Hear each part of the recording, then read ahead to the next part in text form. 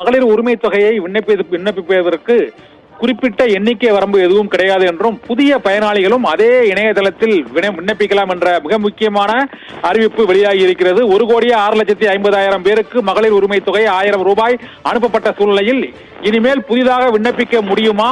ஏற்கனவே அந்த இணையதளம் இணைய ஒழுங்காக இயங்குவதில்லை செயல்படுவதில்லை என்ற குற்றச்சாட்டு அனைத்து மாவட்டங்களிலும் எழுந்துள்ள சூழ்நிலையில் மகளிர் உரிமை தொகை தொடர்பான மிக முக்கியமான அறிவிப்பு வெளியாகி இருக்கிறது. மகளிர் உரிமை தொகை ஆயிரம் ரூபாய் பெறுவதற்கு புதிதாக பயனாளிகள் விண்ணப்பிக்கலாம். குறிப்பிட்ட எண்ணிக்கை வரம்பு எதுவும் கிடையாது.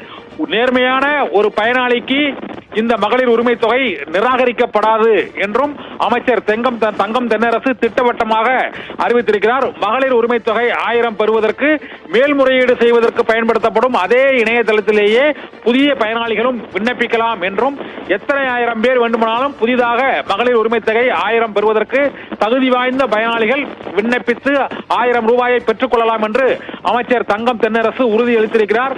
கலைஞர் மகளிர் உரிமை தொகை திட்டத்திற்கு இவ்வளவு பயனாளிகள் தான் தேர்வு செய்ய வேண்டும் என்ற இலக்கு கிடையாது என்றும் அமைச்சர் தெரிவித்திருக்கிறார்.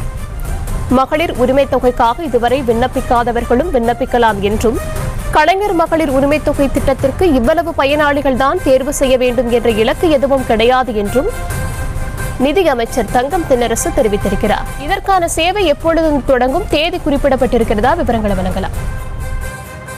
வணக்கம். மகளிர் உரிமை தொகை திட்டத்திற்கு ஏற்கனவே விண்ணப்பிக்க முடியாமல் போன பயனாளிகளும் மேல்முறையீடு செய்ய அவகாசம் வழங்கப்பட்டிருக்கக்கூடிய தேதியிலே அவர்களும் விண்ணப்பிக்கலாம்.